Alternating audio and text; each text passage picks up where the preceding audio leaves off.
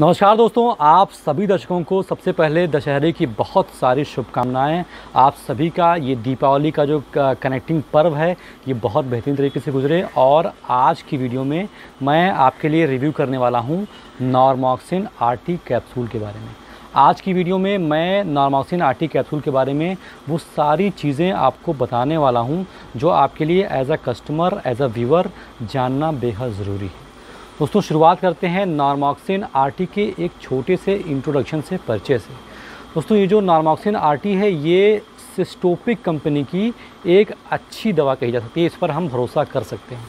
अब अगला सवाल उठता है कि आखिर नॉर्मॉक्सिन आरटी में कौन कौन सी दवाइयाँ होती हैं? नॉर्मॉक्सिन आरटी तो ये जो दवाई तो एक ब्रांड नेम है। आखिर इसमें कौन कौन सी दवाइयाँ होती हैं जो हमारे शरीर में जाने के बाद एक्चुअल में रिस्पॉन्स करती हैं रिस्पॉन्ड करती हैं, काम करती हैं? दोस्तों, ये चार दवाओं का कंपोजिशन होता है। पहला होता है रेबिप्राजोल सोडियम ये एक प्रकार का प्रोटॉन पंप इनिबिटर होता है। दूसरा होता है डाइसाइक्लोमिन हाइड्रोक्लोराइड तीसरा होता है क्लिंडियम ब्रोमाइड चौथा होता है क्लोर डाइजेपॉक्साइड ये चार दवाइयाँ इस नॉर्मॉक्सिन आरटी कैप्सूल में पाई जाती हैं। अब सवाल उठता है दोस्तों कि आखिर डॉक्टर जो है नारमॉक्सिन आरटी कैप्सूल का इस्तेमाल किन किन परिस्थितियों में करते हैं? आखिर इसको प्रिस्क्राइब क्यों किया जाता है? दोस्तों नारमॉक्सिन आपटी टेबलेट का जो मेन यूज़ है, वो होता है इरिटेबल बाउल सिंड्रम में।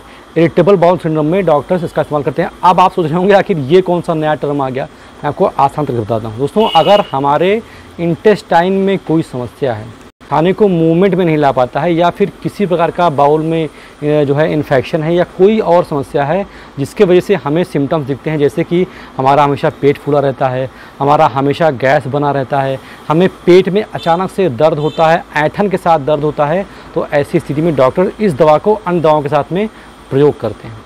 ये तो हो गया इसका इस्तेमाल। अब आइए समझ लेते हैं कि आखिर नॉर्मॉक्सिन आरटी टैबलेट किस तरीके से काम करती है। जैसा कि मैंने आपको बताया कि चार दवाओं का कंपोजिशन होता है इसमें जो रेबिप्राजोल होता है, वो एक प्रकार का प्रोटॉन पंप इनिबिटर होता है, यानी कि ये एक्सेसिव गैस के सिक्रेशन को ठीक करता है। जो उसमें होती है, वो होती है डाईसाइक्लोमिन और क्लीडिनियम ब्रोमाइड। ये दोनों दवा जो होती है, ये हमारे पेट दर्द को ठीक करती है। और आखिरी में जो होती है, इसमें क्लोरडाइजीपॉक्साइड। ये क्या होती है, ये हमारे नर्व्स पे कंट्रोल करती है, जो हमारा जो हमारे नर्व्स की वजह से, जो हमारे डाइजेशन में समस्या आती है, उसको ये ठीक करती है। तो इस प्रकार से ये दवा नार्मोक्सिन आरटी हमारे शरीर में जाने के बाद काम करती है। अब सवाल उठता है कि क्या ये दवा प्रेगनेंसी में सेफ़ है या नहीं है? तो दोस्तों, ये दवा प्रेगनेंसी में बिल्कुल भी सेफ़ नहीं है। कोई भी डॉक्टर प्रेगनेंसी की स्थिति में इस दवा का इस्तेमाल नहीं करता है।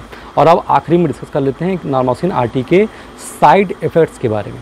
दोस्तों नॉर्मासिन आरटी का जो साइड इफेक्ट्स है, वो होता है ब्लर इमेज यानी कि अगर आप इसको खाएँगे तो हो सकता है कि आपको हल्का हल्का ब्लरिश टाइप का दिखाई दे। हो सकता है कि आपको कॉन्स्टिपेशन की शिकायत हो। हो सकता है कि आपको नाजिया या हल्की हल्की वोमिटिंग की फीलिंग आए। बस यही इसके कॉमन साइड इफ़ेक्ट होते हैं। इसके अलावा और कोई ज़्यादा साइड इफ़ेक्ट देखने आते हैं।